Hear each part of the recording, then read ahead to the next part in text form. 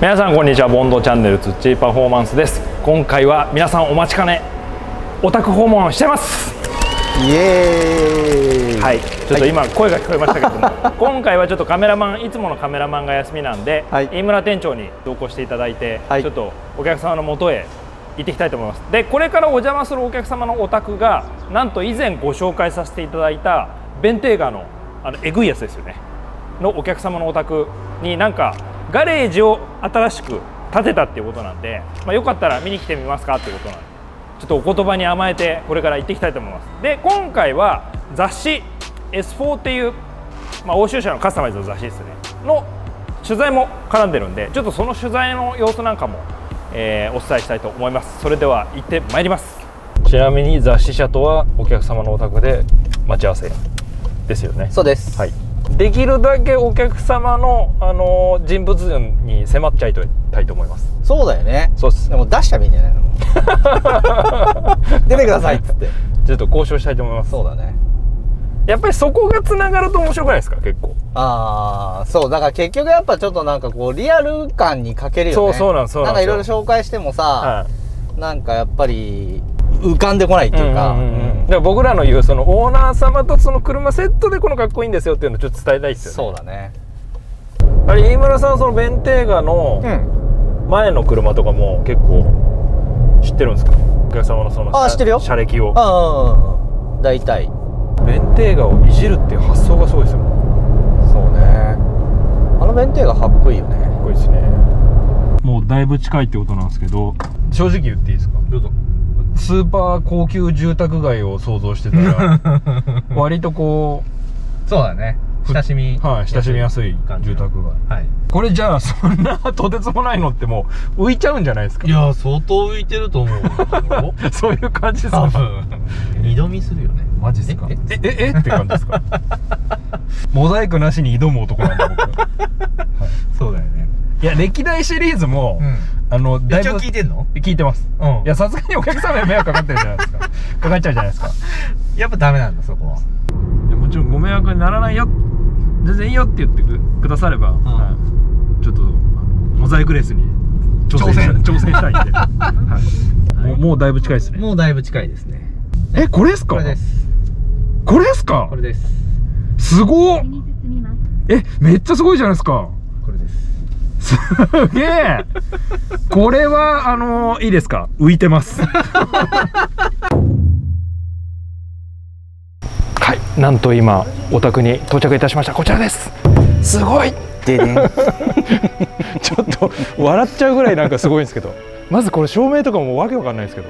よくこう植木のとこが光ってるんだったらあれですけどもう家のここが 完全照明家の中ならわかるじゃない？ですかすごいね。確かに。これすごいですね。確かに外が光ってるってないよね。でしかも、うん。今回やりました。あの、はい。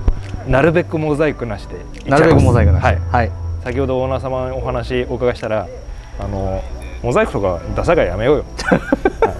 サングラスかけるからそれで行こうよ。はい。はい、言っていただいたんで、はい。まあ、もちろんそのオーナー様はバーンって出ることはないですけど、はい、ちらっと映ることあると思います。チラッと？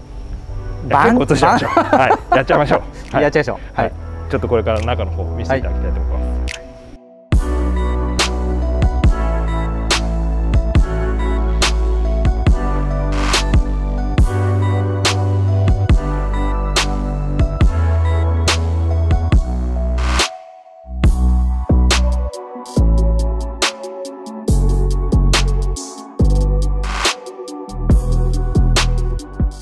あの400もいじるんですか？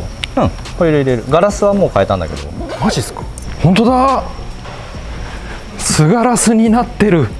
いや一応僕ちゃんとあの S4 のリンク貼ってますよ。動画の説明欄とかに、はい、あれこれはいつぐらいに掲載予定ですか？これも次行きます。あ本当ですか？あ次行くの？い。よいよ潜入してみたいと思います。すげえ。こんなにこう今カメラ撮ってますけどこんなに光ってるお家あります？これだってもうここやばくない？めっちゃ光ってますよ、ここやばくない？はい、これね。えー、なんかそうホテルとかならわかりますよ。個人宅でこんな光ってるお家あります？ちょっと直視できないもん、はい。これまだ実は終わっあそうなんですか？そうなんです。か？まだこれをどう埋めてこの点々を隠していくのか。あこれ隠すんですか？そうまだ終わってない。だから石も石もそういうことか。黒い石入れるのかはまだらない石入れるのか逆に向こうは真っ白にしちゃってるんですよ。あ本当だ。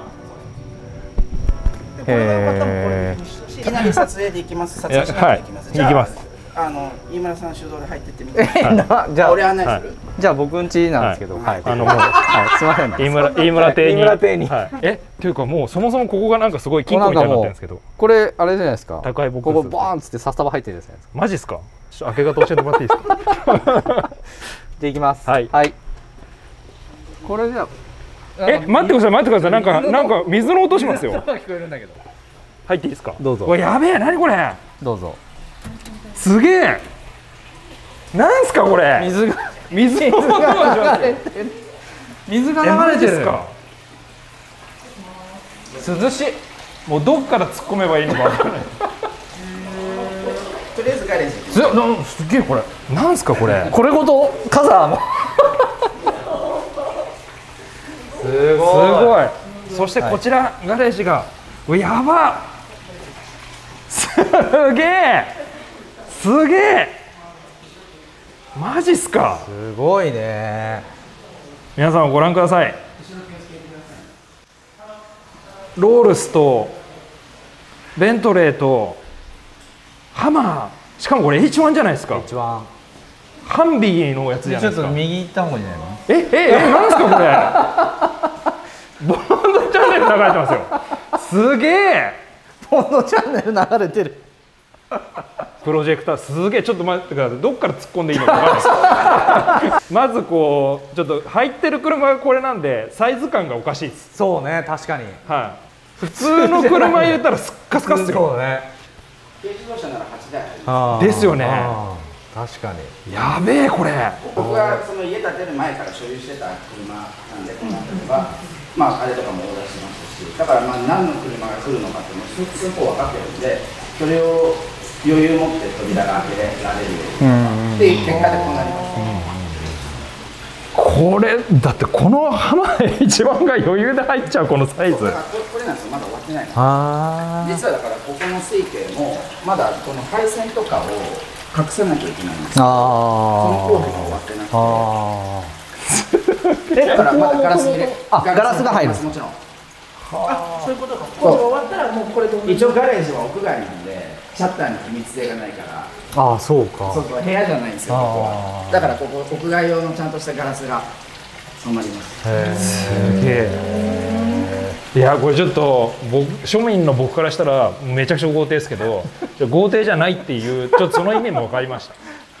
これはちょっとあのめちゃくちゃすげえ豪華ですねっていうよりかも。定義にが何かによりますよね。偉く言えば豪邸で片付けてほしくないっていう。のはびっくり。ないしオーナー目線でさっきおっしゃってたのはもう中から車が見えるのでやっぱりこれですすごいね。ね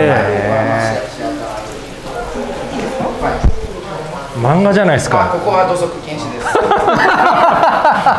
らは室内。確かに確かに。すげげえ。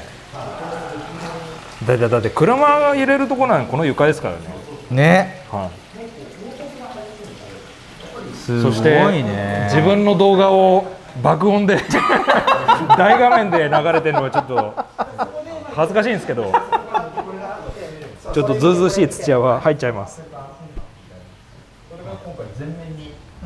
すげえ！あこれはあのーちょっとうちのリビングぐらいあるんですけど あのリアフェンダーもあのポルシェとか、ね、スーパーカーだとストーンがあって。まあ、幅普通のゲレンデとか昔のは時代のこんな感じでこれがマックをい、食べるそうです。はい。そこまで本当だ。そこ気づかずにスルーするのはちょっと本当だバッグだね本当だルネサンス時代の人たちプー。さんプーさんがいるけどいやこれこれ申し訳ないですけど画面越しじゃわからないですこれ確かにこのこれ越しだとわからないですへちょっとこうあの曲面を意識したデザインとかもあるすごこれすごいですね洒落てんなボディが丸みを帯びた感じなんであそこはちょっとさ半端ねあと僕全全部屋ですけど徹底してこだわってるのは配線を一切見せない。ああないっすね。そうなんです。もうやっぱりまあねなんか生活感がないです。モデ1ヶ月以モ上生活してます。マジっすか？モデルルームみたいです。ティッシュがないもんティッシュ。ない。ない。やゴミ箱とかもないっす。ない確かに。ゴミ箱は、えー、とこのうち今全部で340平米あるんですけど、は340平米のうちゴミ箱2つだけ。で すこれは昔から僕のこだわりですそれはやっぱりこうビジュアル重視。ビジュアル、例えばソファーの横に結構皆さん置くでしょ、奥はい。奥ゴミの横で生活してるんあですよ。とにかく極端な綺麗好きなんで。あそうだから本当に2個しかゴミ箱ないからうちあそうだからこれもね見せ方なんですけどガレージ明るくすると何これ？あよくわかんないです。伝説のトランク100ルイ・ヴィトンって何ですかそれ。見たことないですよ。これ何これ？か缶の裏蓋みたいになってるけど。アロマキャンドルじゃないですか。これ？あの まず一般庶民にはなな何なのかすらわからない。何なのこれは？わからないです一周回っちゃっててなんだかわかんないですもん。これ何なんだわかんないですこれもビトンの何かですよ。ビトンの何かしかわ何かだね。開くあなんですか？ーキャンドルでした。あキャンドルですか、はい。あだからいい匂いするんですか。そうじゃない？ゴミ箱がないです。ティッシュはティッシュはあるけどけどゴミ箱はない。ゴミ箱はない っていうかハマー一番初めて中見ます。えすげえ。こんななってんすか。わわわわわ。わすげえ。うわ。助手席めっちゃ遠いじゃないですかこれ。すげえ。めっちゃ遠いっすよね。やばこれでも所有しても止められないっすよ普通の人。うんまあでもそうですね。このこのサイズ感が。不便か不便じゃないか考えてみる車じゃないんでとにかですよね異様な雰囲気が。いやでもこのお家に合ってます。えちょっと待ってください。このハーレーもなんすかこれ。これは1977年のショベルヘッドっていうエンジンを使ったカスタムハーレーです。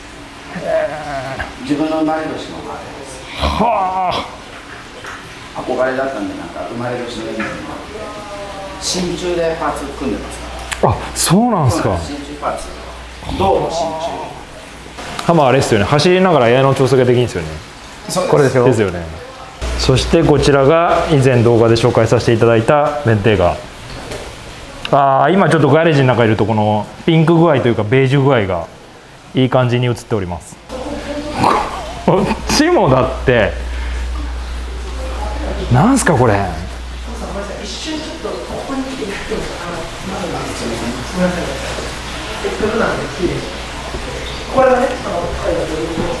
すごすぎる。はあ。もう訳が分かりません。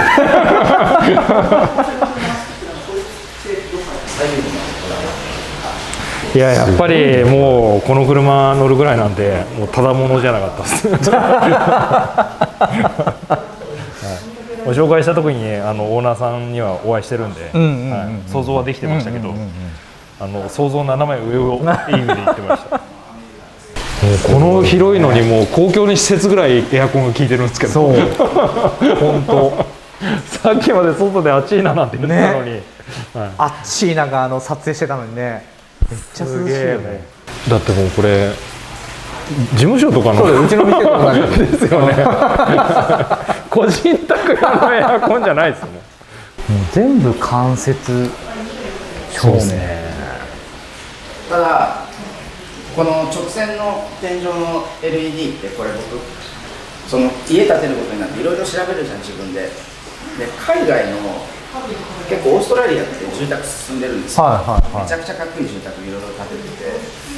でオーストラリアの車庫が結構この直線的なへすげえかっこよくてそれが写真とかパースで見ると。でそのイメージ伝えてお願いして同じようにしてもらったんだけどこれはねぶっちゃけ本当はもう少し細くあ入れるあ入れた方が良かったなって思う。なんか蛍光灯みたいに見えないですか？ああまあまあまあまあまあまあまこれぐらいならダウンライトの方が良かったなってちょっとまあそういった失敗点もあるんですけど。えでもこれ車にめっちゃ長いですよね。これ。車に反射したのとかめっちゃかっこいいですよ。あ本当ですか？はすげえな。普段はだからつけてない、うーん。あの最初脇だけ。うん、はい、はい、お願いします。僕はいつもこっちいのああなるほど。ここがすごい綺麗なんですよね。確かに。奥の部屋もここから見えるし。これすごいですよね。いやもうこのこれこれもいいし音がこの玄関入った瞬間に、え何何何？なるね音と美なのとね、はい。これはちょっと知らない人はお風呂出しっぱなしにしいて。やいやいや本当そうですよ。うち超焦った。うちだったら確実にそうですよ。やべえ。やべえはい。普通だったらやっちまったの音ですよ。要するにここ閉めてガレージだけで過ごすときには音楽が、まあ、BGM が流せるんで本当にショールームみたいに過ごせるもうすべてなんかもう飯村さんのぶっ飛んだ提案にもそれいいねってこう。やるちょっとその流れが全部わかりましたけど。確かうわー。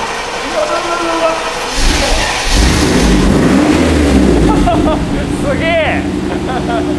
ファンビーにこう最低限の装備つけたのがハマスやばいなこれ。だからあのアメリカの空軍がパラシュートつけて落っことすんですよねでそうですでこれがヘリフックですねあそうなんですか？これがヘリフックここに引っ掛けてヘリコプターで釣るんですよで落っことしてそのまま走っていけるんですよね。すごいですよね。でちょっと正確な数字は定かじゃないです。記憶にないんですけど傾斜70度近くまで登れるんですえマジっすか？だからもうここ面なんですよ。バンバンはあ アプローチ角がえぐいこと。確かに。ほぼ壁をこ70度って。う。これ乗って街に出たらどこにも行けないですよ。これがいけないね。確かに。幅で言ったら普通に大型ですからねこれ。ダンプと同じです。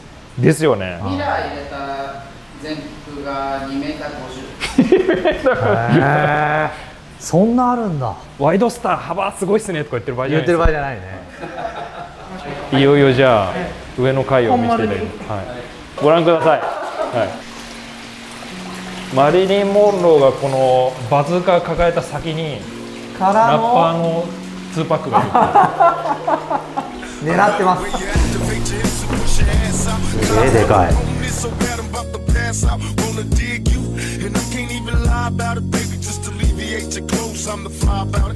グッチゴーストを作った作家さんが描いた絵です、まあだからそのままですね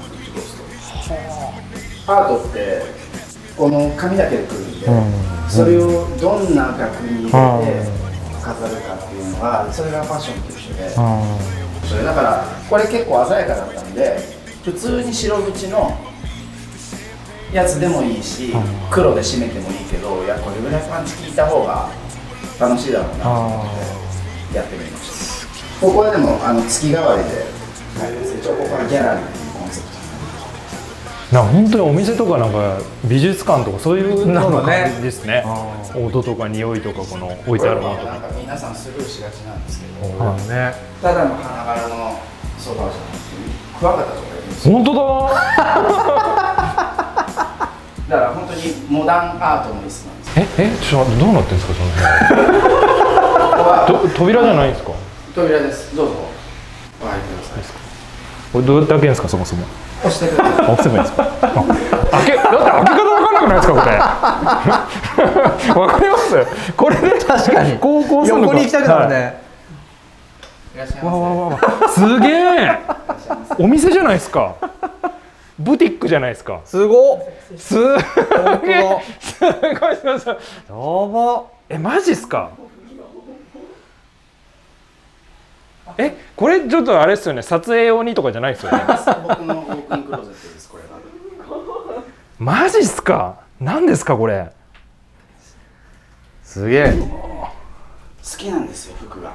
はあデータバンク。ちょっとどこか。こ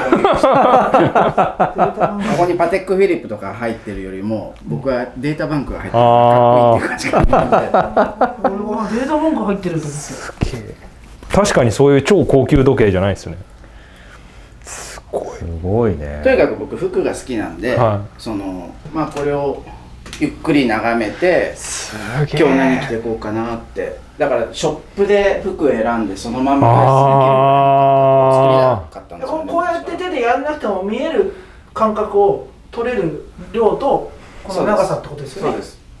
ただまあ引っ越してくる前はこれのどうだろう大げさに言わなくても8倍ぐらいは厳選服の量があったんでほとんど処分しました。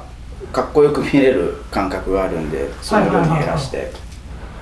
もう絶対高い。いや服は全然高くない。あそうなんですか。僕そういうあれじゃないです。ほらだって全然この国産のクルーニーとか知らないでしょ？いやいやいや自衛だとかこの辺アンダーカバールイスとかこの辺なんてこれこの間どこだっけ？代代官山じゃなくてどこか東京でねあの3000円ぐらいで買ってるへえ見えないですそう、うん。全然はい。ブランドも基本的にないですよ。あそうなんですか？そう全部全部っていうかいわゆるルイ・ヴィトンだとか、はい。エルメスだとかへマースみたいなえものはあまりないです。あんまり好きじゃないですよね僕は。で小物でだからルイ・ヴィトンとかですね。はあ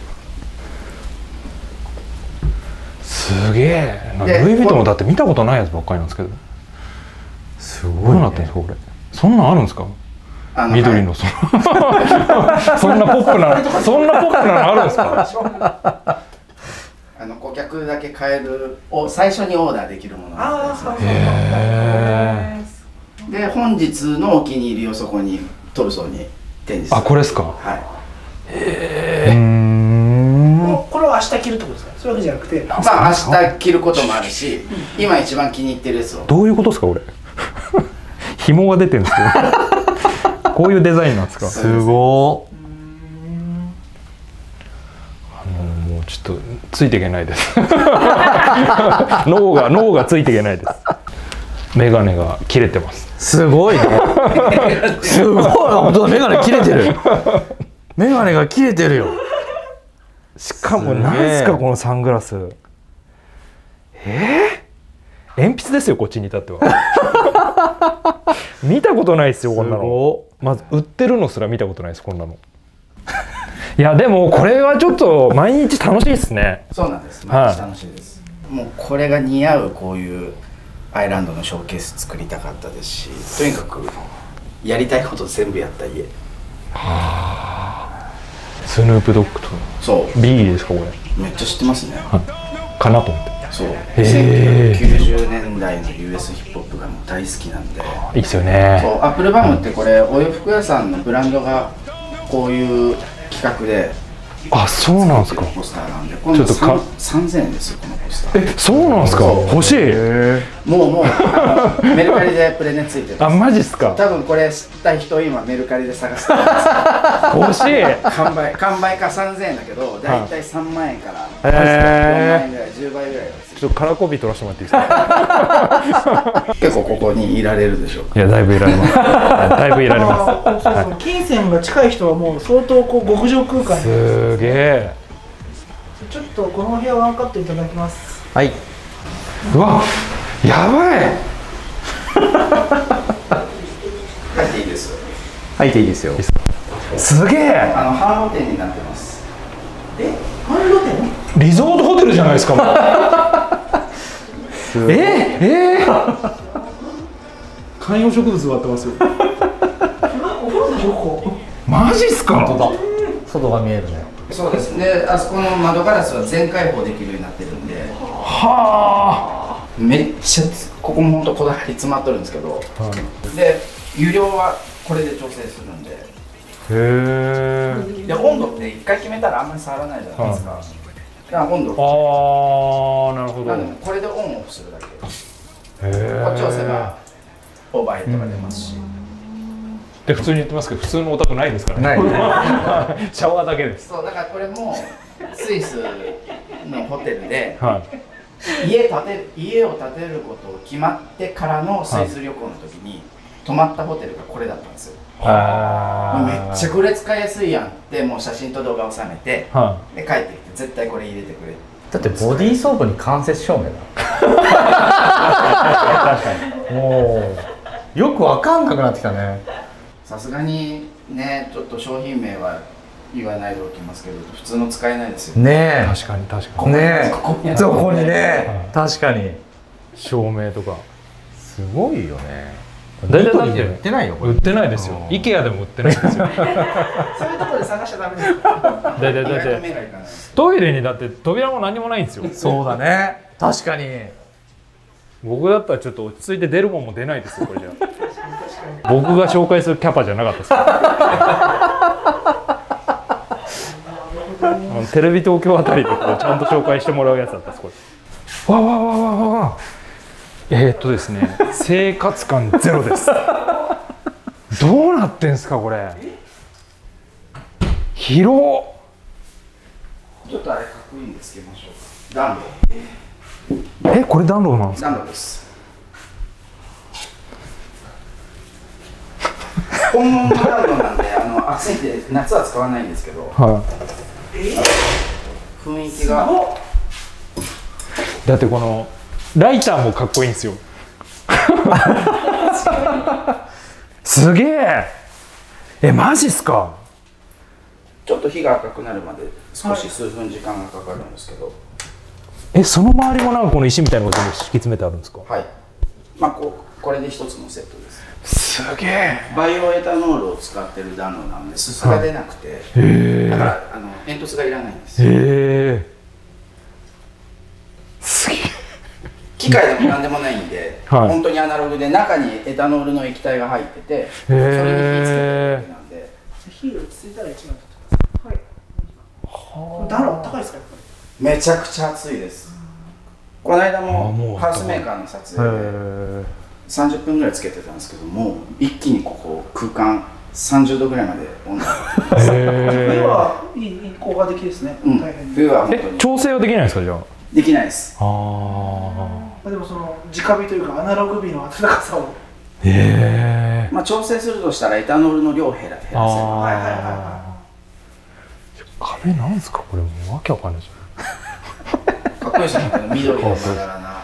ええしかもそれも全部こっちっすよそしたらいいらしくなるかもうテレビの内容が入ってこないですよね。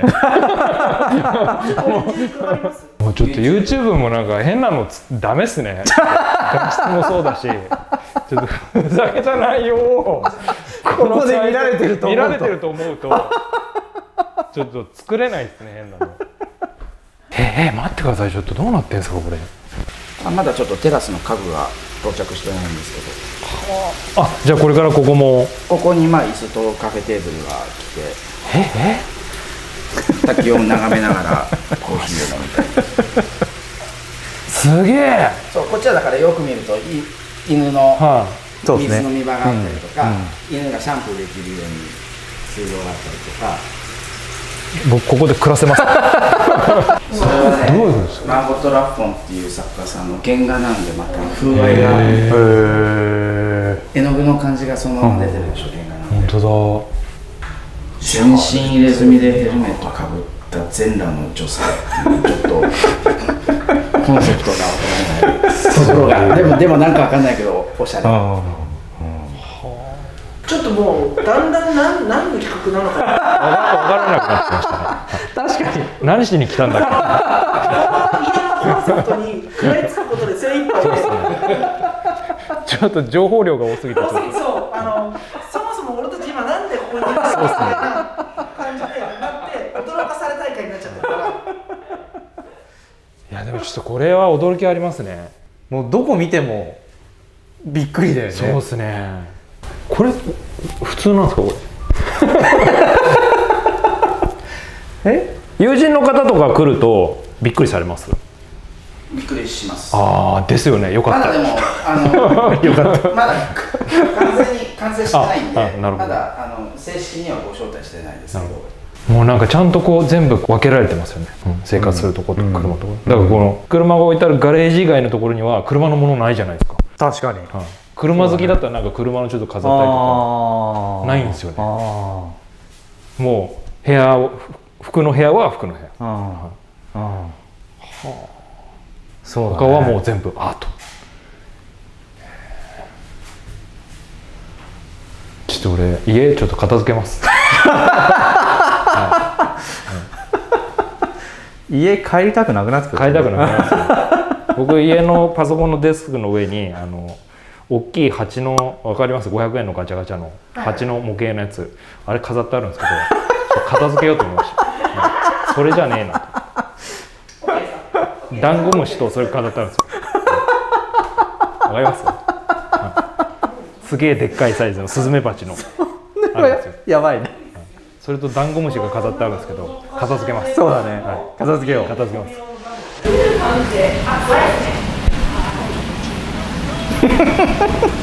一応サイバートラック予約してあるんでその時 あそうなんすか。へえ。にいつになるんですかねでもあれサイバートラック。あれ来年でしたっけ？なんか当初の予定は今年それですよ、200なんですか？そう2000へえそれ200のやつ？充電充電できるやつ？そう。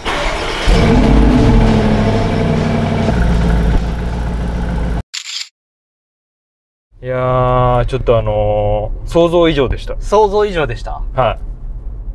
あのー、いやいやもう車 紹介させてもらった時のオーナーさんの身だしなみとか、はいはい。はいこう立ち振る舞い仕草で、はい。ちょっとただものじゃないな感はあの感じてたんですけどああのさらに想像の上を行ってました。ーこだわりすごいよね。半端ないですね。ね。いや普通うはん。面倒くささが勝っちゃうと思うんですよ。そうだね。ゴミ箱一つ取っても。確かに。